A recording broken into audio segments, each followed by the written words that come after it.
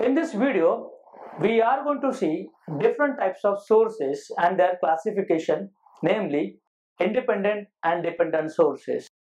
Moreover, we will see difference between them and different types of dependent sources depends upon the quantity on which it depends.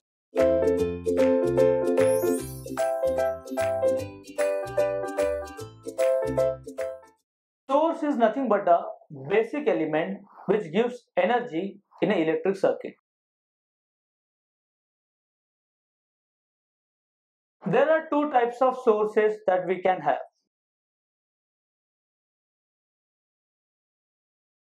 One we can say independent source.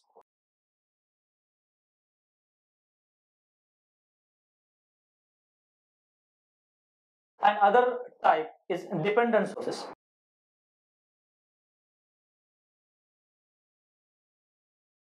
Name suggests, independent source is a constant source whose value do not depend upon any other voltage or current.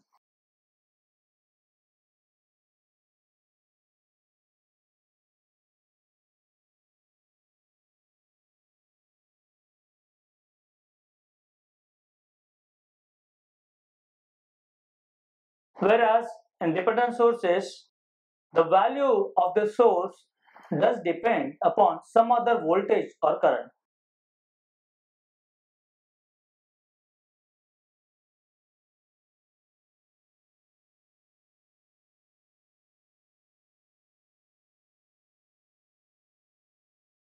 There are two types of sources in independent source. One we can say a voltage source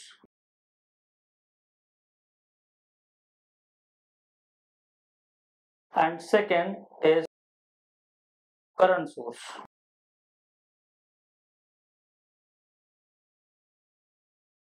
So what voltage source? It will provide a constant voltage irrespective of any amount of current taken from it.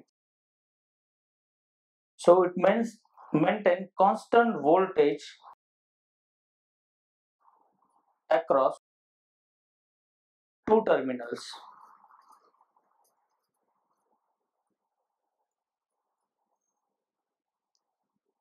Whereas current source, irrespective of amount of voltage across it, it will always maintain constant current in the circuit.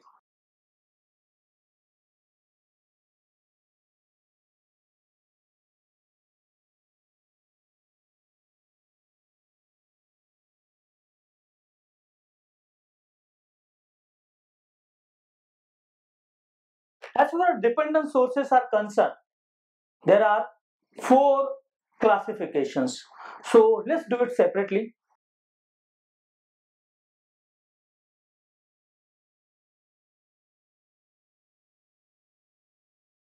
So it depends which voltage and current is being controlled by which voltage and current.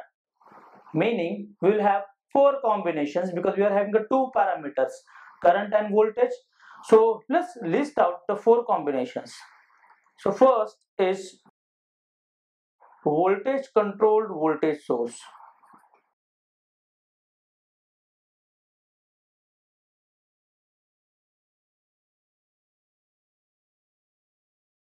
So voltage controlled voltage source can also be called as VC VS. So we are having a circuit. In the circuit, there are two ports, meaning two terminals are given. Let's consider this is a port AB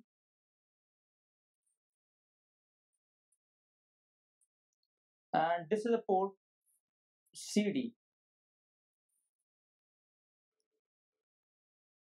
So what we are saying, there is a voltage across A and B as VAB. Based on this voltage, a voltage is developed over here, okay, and it is shown with a diamond shape like this. So remember, dependent sources are shown by this diamond-like structure. And let's consider here, this is a voltage developed which is VCD. So what we are seeing, this VCD is depends on this voltage. So it's a voltage source. This voltage source depend upon this voltage and there is a factor we call that factor as mu.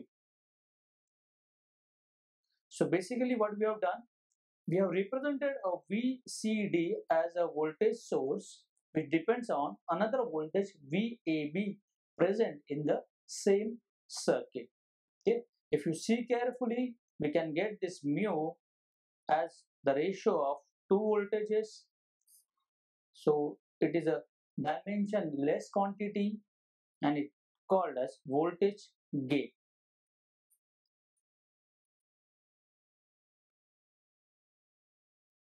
So this is about voltage control voltage source.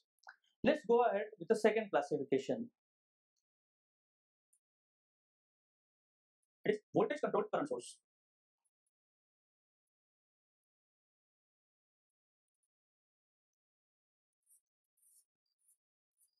Can be considered as VCCS. So it depends upon voltage only, but I am getting a current source at the output side. So once again, we'll consider the same two port, two terminal circuit.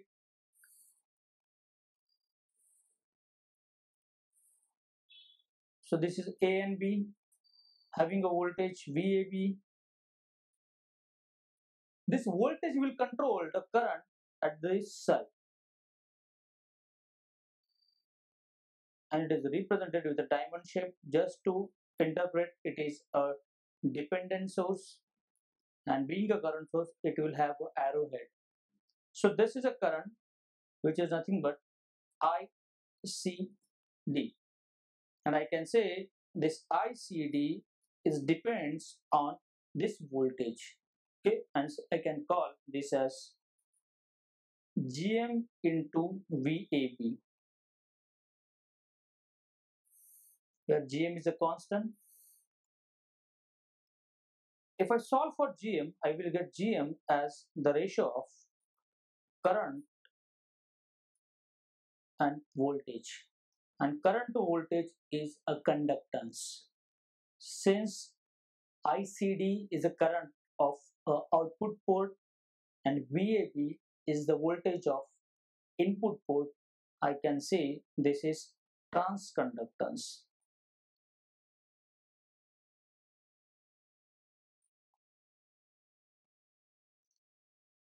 So this is about a voltage controlled current source. Let's go ahead with the third classification. That is current controlled voltage source.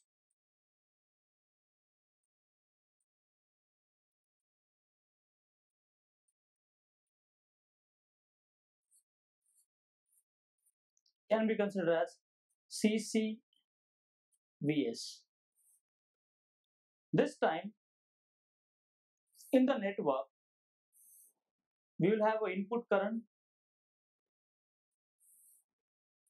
which is flowing from A to B.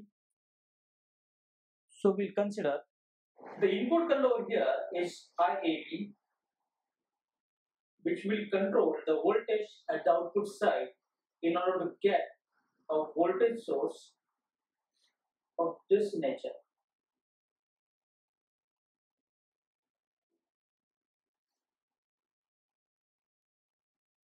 You can say this voltage is VCD. So VCD, which is a voltage, depends on this current IAB.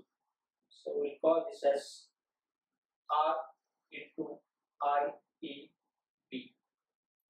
So we will get this particular relationship.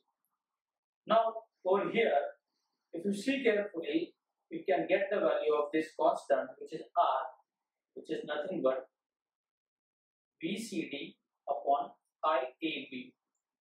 So it's the ratio of voltage and current, nothing but a resistance.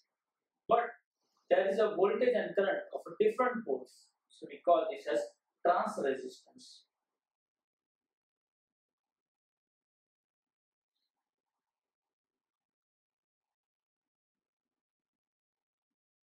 And finally, we come to the last classification that is current controlled current source.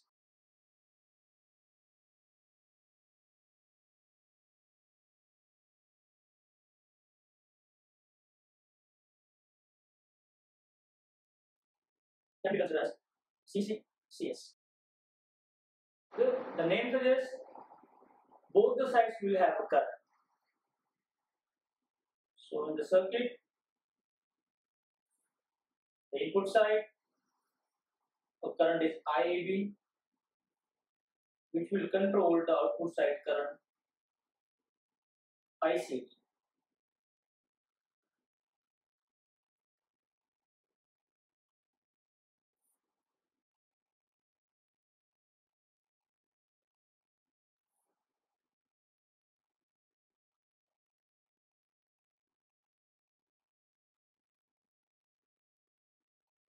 So we can say ICD is being controlled by IB by the factor beta.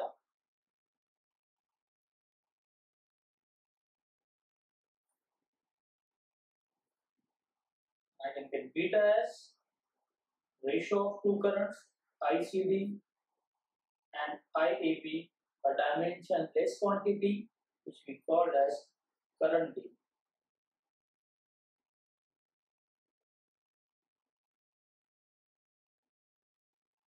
So here we have seen in our dependent sources we will be having a four types depends upon which quantity is being controlled by which quantity.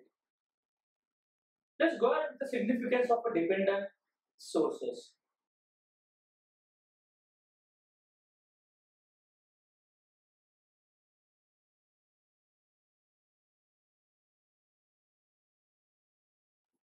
In practice, dependent source does not exist.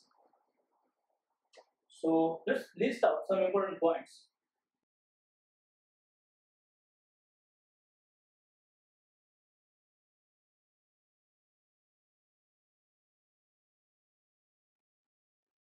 Then why we are studying the dependent sources? Question may arise. Basically, dependent sources can be used to analyze the circuit.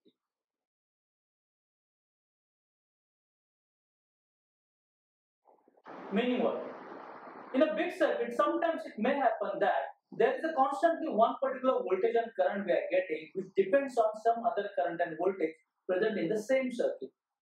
So what we do, instead of drawing and analyzing the same circuit again and again, I can replace that entire part of a circuit by either a dependent current source or a dependent voltage source.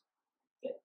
So the best example is whenever we analyze the bipolar junction transistor as an amplifier, there we need to draw its large signal or small signal analytical circuit using a dependent source.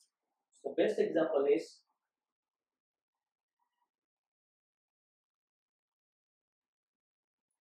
large signal, a small signal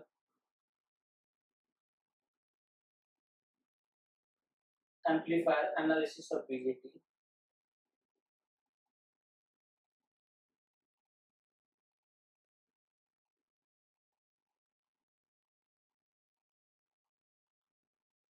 Where the whole concept of a base current, collector current, base emitter voltage, collector emitter voltage, transconductance, and input impedance, everything can be represented with the help of dependent sources.